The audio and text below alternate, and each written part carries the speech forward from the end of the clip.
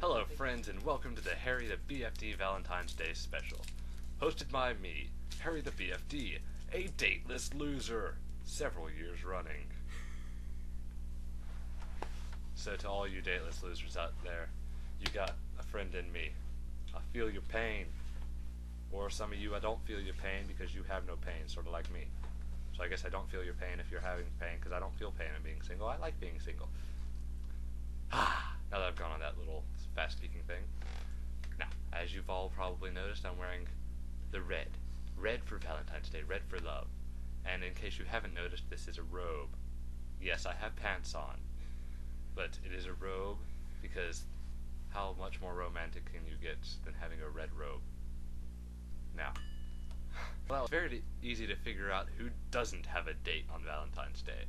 Mostly because if you ever see somebody who has a date, who has a girlfriend and or boyfriend, notice and or, who has one of those, you'll notice them going around holding hands all happy and kissy and huggy and all that.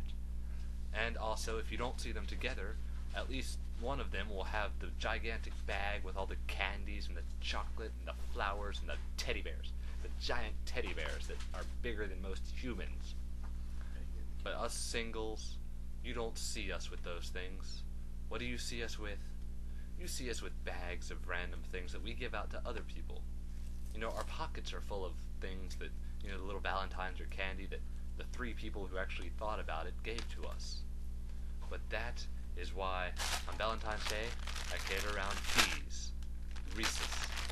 Because what better to give to somebody on Valentine's Day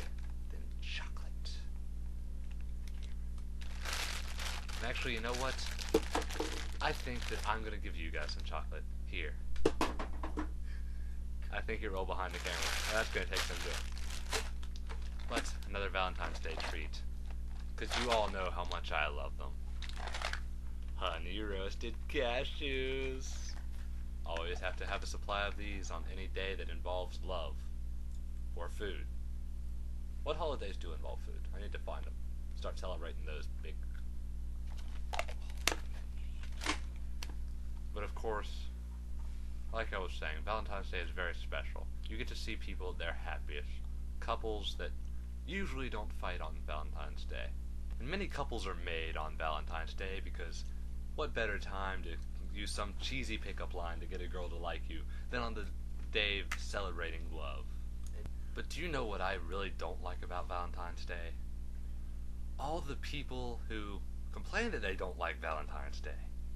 Sorry. I spend most of the time uh, during Valentine's Day hearing people whine and complain about, oh my god, I don't have a day, who cares? But that seems a little insensitive of me, so I would just like you all to know, even if you do whine about it, I still love you. I love you, especially on the day, celebrating love. Because I'd like to celebrate things. And if you have nobody else, Because remember, celebrate good times, come on. Now, everybody, go listen to that song. Remember it. Now. You know, celebrate every type of love. Celebrate the love between a couple, you know, boyfriend, girlfriend. Celebrate the love between spouses. Celebrate the love between siblings.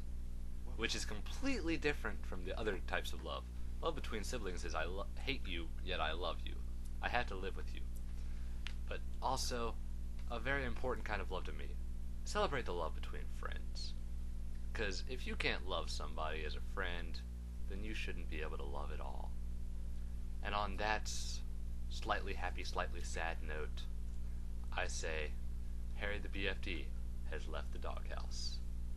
I love ya, and goodbye.